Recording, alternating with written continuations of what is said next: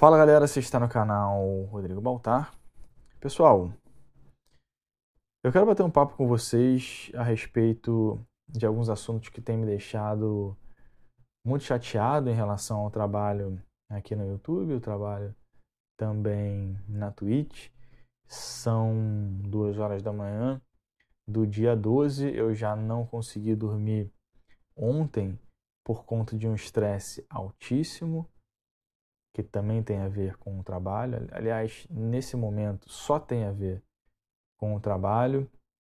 E talvez eu não consiga concatenar muito bem as ideias, porque eu não consegui descansar também no dia de hoje.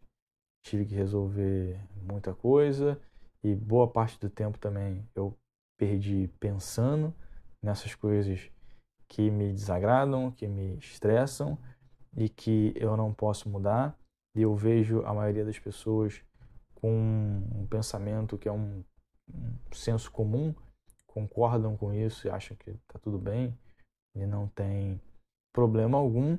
E além de tudo isso, né, além de eu estar muito cansado, são duas horas da manhã e tem um samba tocando, né, um pagode tocando no bar aqui da rua. Então eu realmente estou muito estressado com tudo isso. A galera que acompanha as lives está mais por dentro, porque nas lives eu acabo desabafando bastante e isso, isso é até muito chato.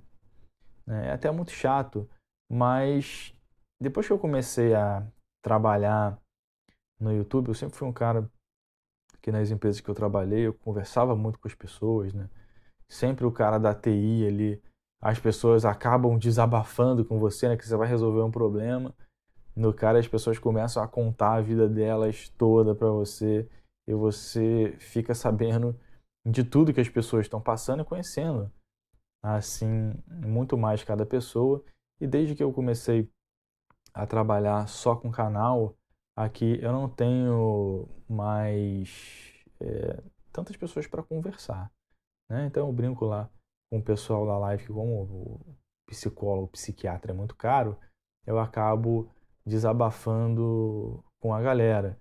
Então, eu tenho pouquíssimas pessoas para conversar sobre esse assunto. Eu também não quero ficar enchendo o saco das pessoas que estão próximas de mim com isso e também nem dos inscritos do canal, né? Porque isso não é problema deles. Mas como acaba me estressando muito, né? E a galera parece que, que gosta de ver os outros estressados, ainda mais que eu falo besteira pra caramba, falo pelos, pelos cotovelos, a galera zoa lá e ri. Mas muita gente percebe o quanto eu tô sendo afetado por isso tudo e o quanto eu já reclamo dessas coisas desde, desde muito tempo. Desde muito tempo. E Cara, eu sei que eu não deveria ligar para o que as pessoas fazem na internet, para o trabalho delas. É, eu não deveria ligar para nada disso. Eu não deveria ligar para nada disso. Embora esteja afetando, e eu, eu, acho que de uma forma bem, é, é, é, bem prejudicial, né? O, o meu trabalho aqui no YouTube, que me impede de crescer e me impede de aparecer o, o, o conteúdo que eu trago aqui, conteúdo não, os vídeos que eu trago aqui são vídeos bastante críticos. É, eu não faço propaganda de nada que eu não acredito. Eu sou sempre o mais honesto possível com o meu público. Então isso já dificulta muito o meu trabalho. Né? As pessoas elas só querem ouvir aquilo que elas querem ouvir então é muito difícil chegar gente nova no meu canal, as pessoas não querem ouvir críticas e sem contar que a maioria das pessoas, né, isso, isso sempre foi um problema que eu, que eu tive na minha vida inteira de pensar um pouquinho fora da caixa, é, das pessoas acharem você um cara arrogante e prepotente, porque você é um cara crítico, você é um cara que gosta das coisas bem feitas. E falando em coisas bem feitas, uma das coisas que me incomoda muito no meu canal é eu, por exemplo, não conseguir fazer as coisas no YouTube de forma bem feita, porque a própria plataforma ela não deixa você prezar pela qualidade, né? Então, em vez de eu tra trazer as coisas com uma qualidade melhor de áudio, de vídeo e, e para a galera ter uma experiência melhor, eu tento focar mais nas ideias e é isso que acaba segurando o pessoal aqui no público. Então, é muito difícil você, se você deixa de soltar vídeo é, um dia ou outro, o YouTube já começa com aquelas seta para baixo lá, falando: olha, cara, o teu canal tá indo de mal a pior e teu canal tá no limbo, as pessoas é, não ligam mais para você, o público não chega mais e você tá ferrado, cara. Desiste dessa porra. Isso não é trabalho para você. Ou então faz igual as pessoas fazem. Faz tudo do jeito que a gente quer. Faz thumbzinho com cara de retardado mental, com cara de espantado, é, fala o que as empresas quer que você fale, deixe de ser crítico, né? aceita as coisas como elas são. E, cara, esse não sou eu. Né? Eu nunca vou ser uma pessoa assim. E eu já apanhei muito na minha vida por ser o cara que quer fazer, por ser o cara que quer mudar as coisas que não vão ser mudadas, que as pessoas não querem mudar, que o senso comum não vê nenhum problema. E, e o que que tá me deixando tão puto assim?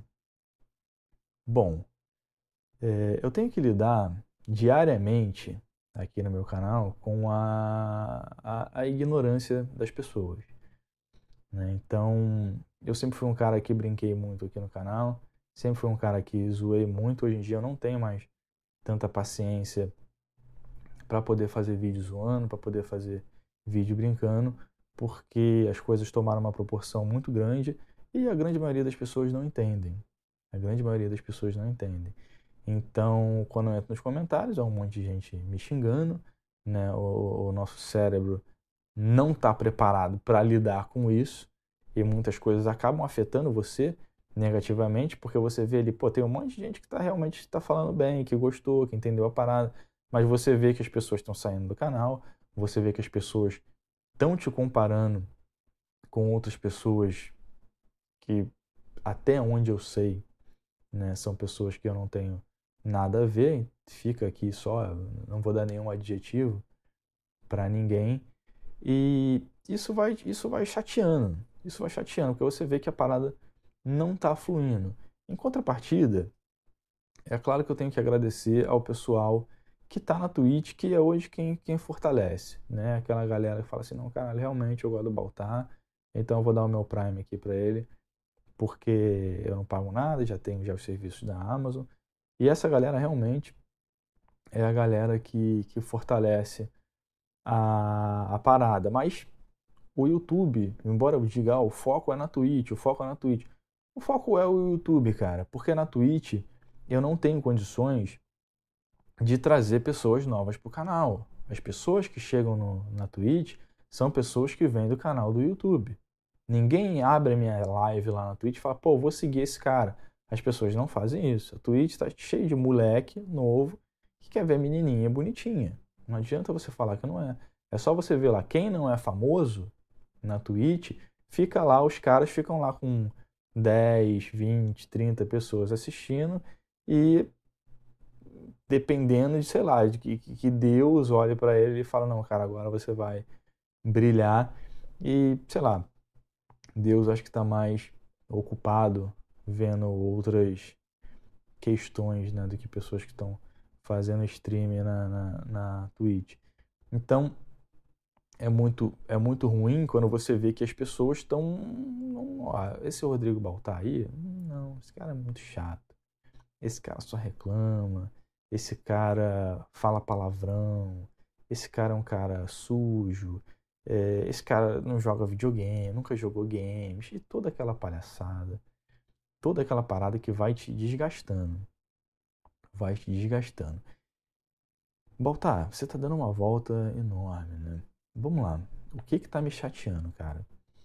Eu comprei o PS5 porque era algo que eu queria comprar. Eu tinha falado que eu ia comprar o PS5 há muito tempo. Desde que saiu aqui o canal, desde os primeiros vídeos já devo ter falado do PS5. blá, blá, blá, falava assim, olha, cara, eu não acho que vale a pena comprar o PS4 porque o hardware dele é muito ruim. Aí quando sair o PS5, eu vou comprar o PS4, eu vou comprar o PS5 para jogar todos os jogos do PS4 em 60 quadros. E muita gente que está no PC pensa assim também. Muita gente que está no PC pensa assim também. Só que o meu canal ele acabou tomando um foco maior e que foi também até prejudicial para o canal, né? Porque eu sempre zoei o PlayStation, sempre zoei o Xbox, sempre zoei o PC. E quando eu recebi o PlayStation, eu falei assim, não, agora a zoeira vai ser assim. Tudo que a, tudo que a, a Sony solta para todos esses youtubers aí é incrível, é perfeito, é o máximo, são os exclusivos incríveis. Então a zoeira vai ser tudo da Sony, agora que eu tenho um PlayStation, vai ser incrível, igual esses caras. E a zoeira era essa. E a zoeira era essa. O poderoso PS4. E as pessoas não entendem. As pessoas não entendem. E muita gente começou a fazer comparações esdrúxulas do meu canal. Um canal que tem um, um, um foco é, em informações técnicas de, de coisas que eu estudei a minha vida inteira, né? não, não sou orelhudo, li muitos livros, estudei, me formei, fiz minha especialização, é, sei do que eu falo, tento trazer a informação da forma mais simples possível para que as pessoas possam entender. Não vou ficar aqui dobrando a língua para falar de coisas mirabolantes que ninguém vai entender. Já tentei, fazer isso aqui no canal e não deu certo, então prefiro trazer a informação da forma mais simples possível. Só que não, não, não, não, não tá fluindo, né? Não tá fluindo. Então, eu vi no PS5 uma chance de, porra, meu canal, acho que eu acho que eu vou conseguir chamar pessoas novas pro meu canal, né? Eu quero que pessoas novas vejam o que eu tô dizendo, porque pode ser pode ser prepotência da minha parte. Pô, eu acho que as minhas críticas, cara, são necessárias. Eu acho que as críticas que eu faço são necessárias. Né? Porque a gente vê que os jogos estão ficando cada vez piores, cada vez mais genéricos, cada vez mais caros e aquelas pessoas que colocam a cara na internet e dizem que estão defendendo o consumidor são exatamente as mesmas pessoas que estão passando pano para tudo que está acontecendo, fazendo as suas críticas superficiais. Tudo é muito bonito, tudo é muito legal, recebem tudo de graça, antecipadamente, e tem a desonestidade, na minha opinião, de dizer que, então, olha, cara, eu sou necessário nessa indústria aqui, porque se não fosse eu, se não fosse eu, as empresas iam deitar e rolar em cima de vocês. Bom, eu vivi os anos 90 jogando Nintendinho, jogando Master System, Mega Drive, Super Nintendo, PC, já nos anos 90.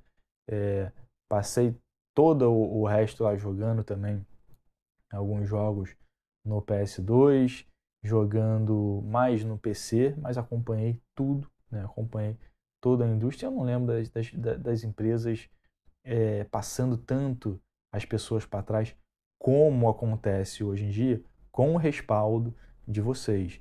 Então, essa palhaçada de que, ah, não, nós somos necessários, né? nós somos necessários, é necessário que a gente receba tudo antecipadamente para que a gente possa trazer um conteúdo maravilhoso para vocês, para você decidir se você vai comprar o jogo ou não, como se as pessoas fossem retardadas né, e não conseguissem encontrar informações na internet. Ou como se vocês fossem tão necessários né, que outras pessoas, outras pessoas não fariam o mesmo que você. Né? Por exemplo, eu não compraria o jogo aqui e falar, caramba, eu vou fazer um review desse jogo. Né? Eu vou fazer um review desse jogo que eu gostei. Né? As pessoas querem fazer isso. Só que as pessoas não têm espaço para fazer isso, porque todos esses caras, essa patota, essa panela, os caras têm um monopólio do YouTube, têm um monopólio em recebimento de jogos, é, placas, tudo antecipadamente, que faz com que eles fiquem sempre ali colhendo todas as benesses entre eles e os outros caras lá embaixo que se explodam, né? Porque o bom moço, né? O cara sempre vai aparecer, vai botar aquela cara de bom moço na, na, na, na internet e falar, não, cara, eu quero que a comunidade gamer cresça. Eu quero que a comunidade gamer, gamer cresça. Quando a gente sabe que o rico vai fazer de tudo pelo pobre, menos descer de cima das costas dele. Então, esse papo, para mim, não cola. Esse papo, para mim, não cola. Porque as pessoas, quando perceberem que as coisas não estão tão legais assim, eu sei que o público desses caras é um monte de criança retardada, eu sei que o público desses caras é um monte de criança retardada, mas quando as pessoas começarem a perceber que as coisas não estão tão legais assim, né, elas vão começar a procurar outros meios de, de se informar. Só que até aí, cara, muita gente já desistiu, né? E eu fico com esse pensamento é, na minha cabeça o tempo inteiro, só que eu não vou desistir. Eu não vou desistir. Então, as empresas elas escolhem as pessoas para fazer a Baltar, mas o mercado é assim, Baltar. A empresa, o jogo da empresa, a empresa tem a, a liberdade, é, esse é o livre mercado, tem a liberdade de poder escolher quem ela quer para poder lançar o jogo dela, para poder divulgar o jogo. Ah, beleza. Então a empresa quer pegar um cara gigante e quer que esse cara faça uma divulgação do jogo, né? Mas aí como é que você faz quando o cara diz, olha, eu tô pegando isso aqui antecipado para poder trazer um review para vocês, para proteger vocês, para vocês verem se vale a pena. E quando você vê, né, as críticas são totalmente superficiais. Você assiste aquilo ali e você fala, cara, eu acho que vale a pena, porque o cara está se divertindo horrores jogando isso aqui. E quando você vai jogar, você vê a porcaria que é. É o caso agora da Ubisoft, eu não sei que esses caras têm medo, tanto medo assim da Ubisoft, com Assassin's Creed Valhalla e também com Watch Dogs Legion. Eu tava vendo todo mundo falar do Assassin's Creed, Assassin's Creed, Assassin's Creed. Eu não consegui jogar uma hora daquilo ali. Eu fiz um vídeo ali, peguei uma chave emprestada com, com um colega e falei assim, cara, não é possível. Todas as pessoas estão elogiando esse jogo, que é um dos carros-chefes da, da, da, da, nova geração. E é simplesmente um horror, é um absurdo. É um absurdo aquilo ali. Então, é, é muita, é muita é, hipocrisia mesmo desses caras dizer que eles estão fazendo isso pelo público quando não é. Né? É pela grana. Pela grana. É por manter o monopólio deles e para se manter no topo. As empresas escolhem os caras é, não faz sentido as empresas escolherem as pessoas que vão defender o público delas mesmas. Não faz sentido nenhum. As, pessoas, as empresas vão escolher os caras que possam hypar o máximo os jogos dela, por pior que eles sejam. Né? Nem que seja só para mostrar e ficar em cima do muro. E é isso que acontece. E é isso que acontece.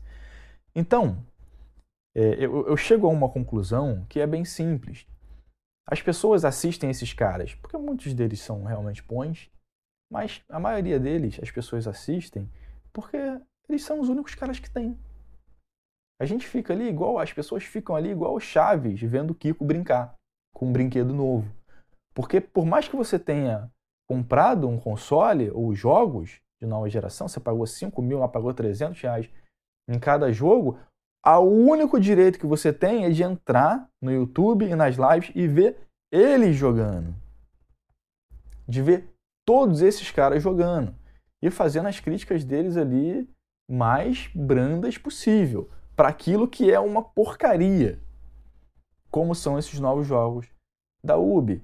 Então, eu fico puto da vida, né? E eu venho repetindo isso aqui tantas vezes, fico puto como como consumidor e fico puto também em relação ao meu trabalho, porque quando eu conseguir ter as coisas em mão, em mãos para poder fazer aquilo que eu queria fazer, poder mostrar para a galera, ninguém novo vai chegar no meu canal. Ninguém novo vai chegar no meu canal. Então, que chance que eu tenho? Que chance que o meu canal tem de sair do limbo se eu continuar fazendo isso? Eu não quero culpar ninguém pelo que aconteceu com o meu canal. Eu sei que o culpado do que aconteceu com o canal sou eu. Né? Eu sou uma pessoa difícil, eu sou uma pessoa crítica, eu sou uma pessoa que é, não está à venda, eu sou uma pessoa que não vou trair minha própria consciência. Né? Você não vai me pegar falando bem de coisa que eu não gosto e é complicado, né? Eu fico aqui ferrado quando tenho a possibilidade de com um produto que as pessoas querem, né, falar assim, pô, galera que tô aqui com o PS5 no dia do lançamento, quando todo mundo puder lançar, alguém, algumas pessoas virem o meu canal e falar assim, cara, pô, esse, não, esse cara aqui realmente tem umas paradas para dizer. Né? Realmente esse cara aqui tem algumas coisas para dizer. Não. Não, isso não vai acontecer. Porque esses caras estão lá em cima, colhendo os frutos, dividindo tudo entre eles. Está todo mundo abrindo. Já o PS5, o, o BRKS Edu teve a audácia de imprensar a Sony, a PlayStation BR, contra a parede aqui no Brasil. Falou que os caras não confiam no trabalho. Acho que eles não confiam no meu trabalho. Todo mundo confia no trabalho dele e ele sabe disso, né? Ele é um cara que recebe tudo antecipadamente. Você pega o vídeo do BRKS Edu, de 10 anos lá, que me mandaram, e você conta para mim quantas vezes ele falou: recebi em acesso antecipado, tive o privilégio de receber antecipadamente. Fulano veio na minha casa e fez eu jogar de forma antecipada. Joguei isso aqui antecipado, recebi antecipado, tive o privilégio. Queria ter o privilégio de ter os consoles de nova geração.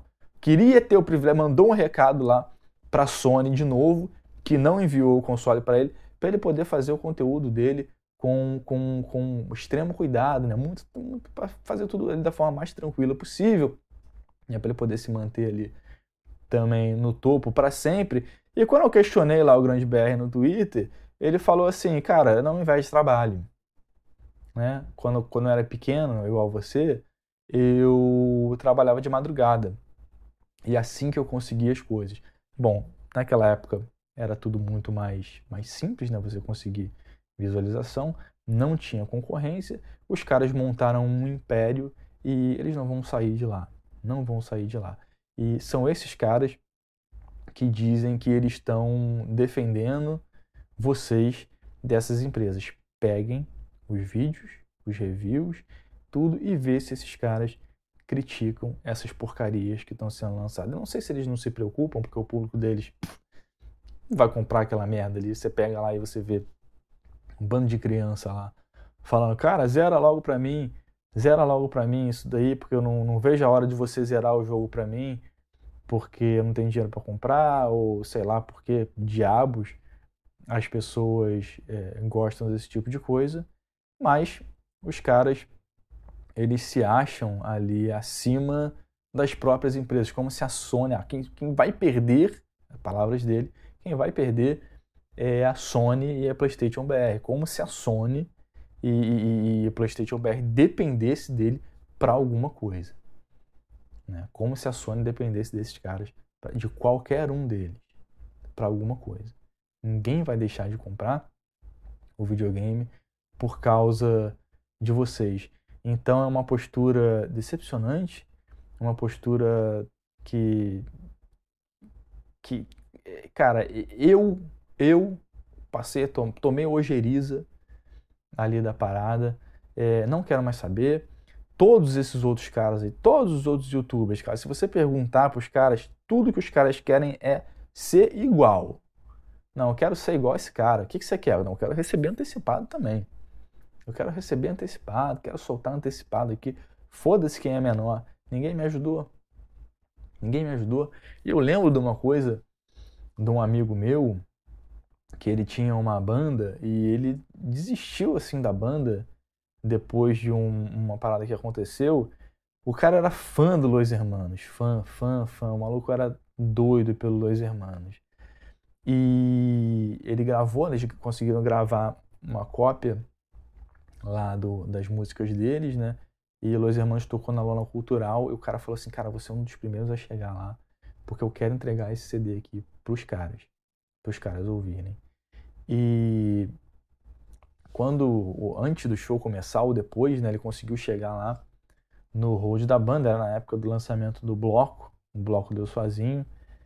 E o Los Hermanos passou por um problema, né? Porque eles fizeram um, um álbum bem comercial, depois fizeram uma parada totalmente alternativa e a mídia não deu atenção para isso.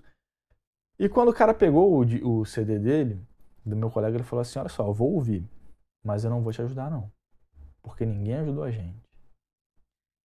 Né? E o cara ficou lá com cara de taxa e falou assim: Cara, eu nunca me senti tão. Sei lá, me senti, me senti meio humilhado, que o cara me. Porra, o cara não precisava falar aquilo pra mim. Pegava o CD ali e falava, pô, beleza, cara, e guardava o CD. Né, o maluco desistiu depois da banda, e ele diz que esse foi um dos fatores também, né? Que eram, eram, eram pessoas que ele tinha ali como ídolo e, e fizeram isso com ele. E quando eu vejo esses caras dizendo que não, a gente quer que a comunidade é, dos gamers, do youtuber cresça e tal, cara, vocês sabem, vocês sabem que vocês estão trabalhando, estão trabalhando com afinco para que as pessoas não cresçam. Vocês sabem disso. Vocês sabem que o público podia ser muito mais dividido e vocês colaboram para que isso não seja feito. Vocês sabem quão nocivo é isso que vocês estão fazendo. Com todo mundo. Não é só comigo, não. Tem cara médio aí, mas todo mundo quer ser igual. Todo mundo quer ter o benefício ali de receber a parada antes, para mostrar antes. E outra coisa, faz tudo com pressa, faz tudo, cara, porra, faz de qualquer jeito, né? Zera, zera a parada mais rápido possível para soltar a série. O videogame mal saiu o PS5, já estão jogando Demon Souls, já estão jogando o Miles Morales no videogame, já tem o final do Miles Morales na internet. E tá tudo aí, cara. Você que quer, que quer jogar, você que quer ter uma experiência, cuidado, foge do YouTube, porque você pode pegar uma thumb aí de um desses caras com o final do jogo. Ou então, algumas pessoas que assistem, né? As crianças retardadas lá que assistem esses caras, fica aí num fórum, alguma coisa que você participe e soltar o final do jogo lá para você. Né? E isso está virando normal. Isso está virando normal. Então, pessoal, eu tô muito. Eu tô muito chateado com isso tudo porque não adianta, não adianta você esperar nada desses caras, porque da onde menos se espera é dali mesmo que não vem porra nenhuma. E isso vai continuar. Isso vai continuar.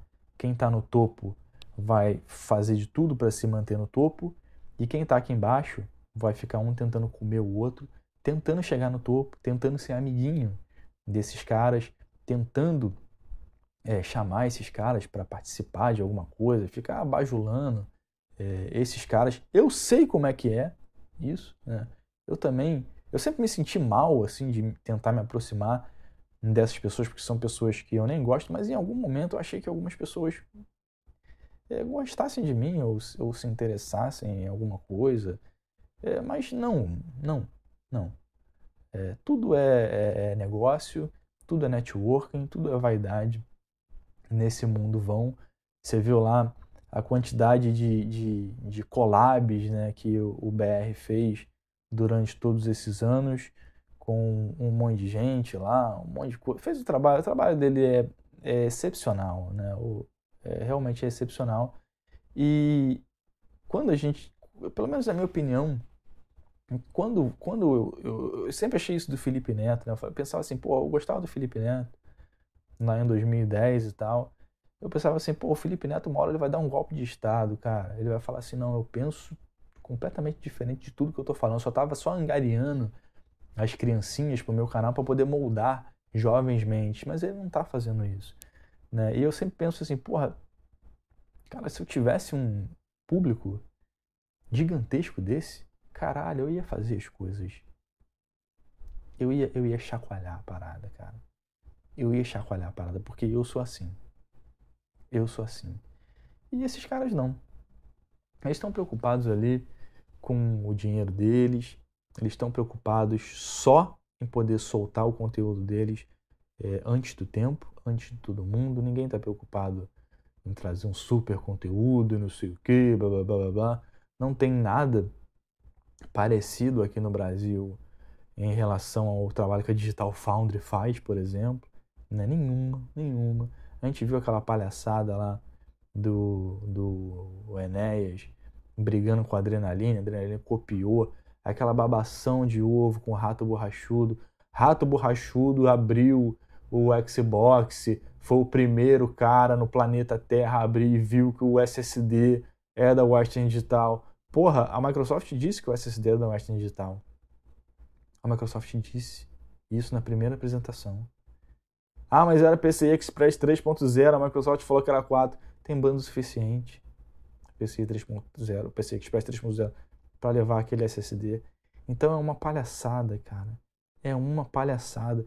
E as pessoas acham que você quer ser igual, que você quer participar, que você quer ser amigo do rato borrachudo, que você quer ser amigo de fulano, que você quer ir num evento. Eu não quero porra nenhuma, cara. Eu quero distância. Eu quero distância. E eu não sei até onde eu vou conseguir ir, porque, cara, são forças muito poderosas que fazem de tudo para te empurrar ali para baixo. Né? E eu sou um cara que, caralho, amo videogame, cara. Na minha vida, eu, eu, eu tinha duas opções na minha vida. Eu ia trabalhar com um computador ou ia ser jogador de futebol. Né? Eu joguei videogame a minha vida inteira. Eu jogo videogame até hoje. Eu joguei videogame durante todos os anos da minha vida.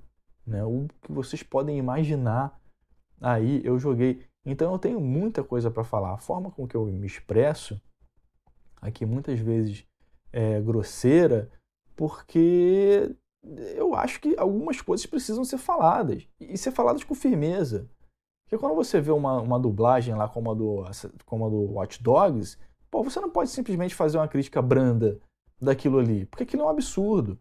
Quando você vê os personagens, tudo aí sendo colocado, porra, um monte de parada forçada, forçada, principalmente vindo da Ubisoft. A gente viu lá o que está acontecendo com a Ubisoft, o que, que a Ubisoft está se tornando. Eu queria que tivesse um cara com mais bagagem para poder falar, cara, o, o que é essa agenda cultural bizarra dentro dos jogos. Porque as coisas estão muito mais forçadas do que na música, do que em novela, do que no cinema, do que talvez no teatro, não, né? porque o teatro é uma bizarrice. Mas os jogos tão bizarros. É lógico que hoje em dia os jogos movimentam mais dinheiro do que o cinema, então onde é que esses caras vão atacar? Vão atacar os jogos, vão atacar as crianças que estão jogando os jogos e não tem ninguém falando absolutamente nada sobre isso. Tudo é muito bonito, tudo é muito bom. Os jogos novos aí estão o olho da cara e você não vê nenhuma crítica. Você não vê nenhuma crítica é, firme. Cara, olha, é. Eu tô muito chateado com isso tudo, cara. Eu tô muito chateado com isso tudo. Eu não tenho postado conteúdo na internet porque eu não quero ver essas coisas, até para não apoiar. Não quero ver conteúdo de ninguém. Não vi nada, né? Vi muito pouco ali do Assassin's Creed Valhalla porque eu já estava esperando que seria uma porcaria, né? E também do Watch Dogs, mas não vi nada do Miles Morales, não vi nada do PS5, não vi nada do Xbox Series X. Algumas coisas chegaram para mim. É, eu não sei se são muita coisa parece besteira, parece intriguinha, é briga boba, mas acontece que eu não tenho conteúdo para trazer, né? No meio de um monte de, de, de, de lançamento aí que, que as pessoas estão esperando há anos eu não vou falar de processadorzinho merda da AMD, né, que lançou aí pelo triplo do preço. É, e outra coisa, outra panela também. Outra panela também. Né, chega a ser ridículo. Então eu tô de saco cheio, cara. Eu tô de saco cheio. Se você não quer ser igual a esses caras, você fica aí é, ali em banho-maria, é, é, na iminência de ser cancelado, também, né? na iminência de ser cancelado, as pessoas pegarem alguma coisa que você fala aí e tirar de contexto. Então, olha, cara, tá foda. Dia 12, todo mundo com o PS5 na mão, soltando tudo, abrindo, destruindo, passando com o carro por cima, todos os jogos na mão. Os caras estão com todos os jogos na mão. E sabe quando é que está marcada a, entrega do meu? Dia 26 de novembro. São mais de 15 dias. São 15 dias praticamente. Aí. 13 dias de, de, de, de espera para eu poder resolver, receber o meu console aqui. E quando eu receber, quem vai assistir? O público do meu canal. Né? Tudo bem que, que é, é uma galera fiel, é uma galera que eu gosto, mas eu sempre tento falar para a galera aqui, cara, vocês têm que é, ver a vida de vocês, seguir a vida de vocês, sair dessa merda de internet, se livrar dessas correntes da internet, porque isso não é a vida de vocês, essa é a mensagem que eu tento passar para o meu público, e uma hora a galera vai entender, e uma hora a galera vai embora. E esse é, é, é, é isso é um comportamento é, totalmente autodestrutivo para minha longevidade aqui na plataforma. Vai ter uma hora, e isso que talvez me tire o sono, que a galera realmente vai embora. Falar assim, não, agora a gente vai ouvir o Baltar, agora não, realmente. Assim como acontece com muitas pessoas me mandam mensagem, muitas pessoas, muitas pessoas. E o cara não vai querer mais renovar o Prime dele, não vai ter tempo para isso. E vai, vai embora. Né? E é assim que acabam é, canais como o meu. Eu acho que as críticas que eu faço são duras, mas precisam ser feitas. Precisam ser feitas. E não espera nada desses caras, porque eles não vão fazer isso. Eles vão continuar fazendo de tudo para se manter no topo, colhendo a benesse, todas as benesses entre eles, eles, os amiguinhos deles, e é isso aí, né? Dividindo o dinheiro, dividindo a, a, a fortuna, dividindo a, a relevância, né? Só eles que merecem. Afinal, eles chegaram primeiro. Pessoal, é isso aí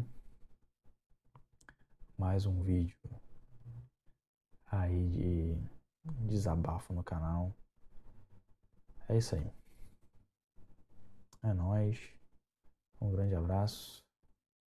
Se você ficou até aqui, né, segue lá no Twitch, arroba loucobaltar, que a gente está nas últimas partes aí, da, nas últimas lives da saga do Red Dead Redemption 2. Fui.